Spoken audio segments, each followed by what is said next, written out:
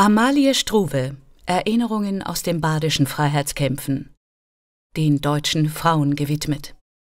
Hamburg 1850 Die zweite Volkserhebung in Baden Seit langer Zeit hatte ich geahnt, dass ein neuer Sturm losbrechen werde. Mein Wunsch war, in diesem Falle die Gefahren meines Gatten teilen zu dürfen. Unerwartet plötzlich brach die Septemberrevolution aus. Mein Gustav wünschte, ich möchte wenigstens so lange in der Schweiz bleiben, bis die Sache der Republikaner einen festen Haltpunkt gewonnen haben würde. Allein, obgleich ich kein günstiges Vorgefühl für diese zweite Schilderhebung hatte, war ich doch fest entschlossen, meinen Gatten zu begleiten. Ich hatte bei der ersten Schilderhebung die Qualen der Trennung zu tief empfunden, um dieselben ein zweites Mal ertragen zu wollen.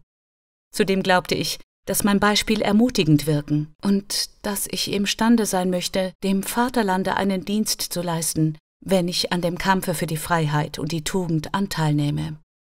Wenige Stunden nachdem mein Gatte im Geleite einiger Freunde den badischen Boden betreten hatte, folgte ich ihm, begleitet von meinem Bruder, in einem Wagen nach. Einen mit Waffen und Munition beladenen Leiterwagen führten wir mit uns. Ich kam gegen Abend in Lörrach an und stieg bei einer befreundeten Familie ab.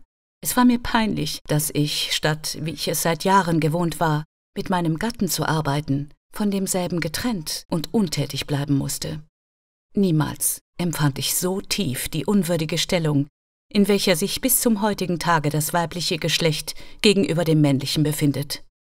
Warum sollte die Frau, welche die Fähigkeiten dazu besitzt, nicht arbeiten dürfen im Augenblicke der Entscheidung? Warum sollte die Gattin, welche die Gefahren des Gatten teilte, nicht auch teilnehmen an seinen Arbeiten? Für wahr, solange selbst im Sturm der Revolution so viele Rücksichten auf hergebrachte Vorurteile genommen werden, wird das Joch der Tyrannei nicht gebrochen werden.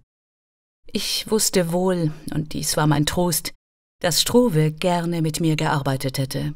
Allein, er glaubte in diesem Punkte dem Rate seiner Freunde nicht durchaus entgegenhandeln zu können. Der Aufenthalt in Lörrach war daher für mich nicht so anziehend, als er es unter anderen Umständen hätte sein können. Nichtsdestoweniger war ich Zeuge der allgemeinen Begeisterung, mit welcher das Volk die neue Freiheitsbewegung begrüßte.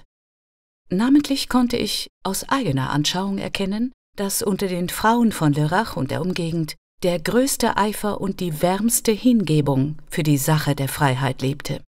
Nicht bloß die jüngeren, auch die älteren Frauen, selbst Mütter und Großmütter ermutigten die ausziehenden Freiheitskämpfer, schmückten sie mit Schärpen und Bändern, fertigten Fahnen und selbst Patronen an und bewiesen durch Wort und Tat, dass sie den innigsten Anteil an der neuen Volksbewegung nahmen.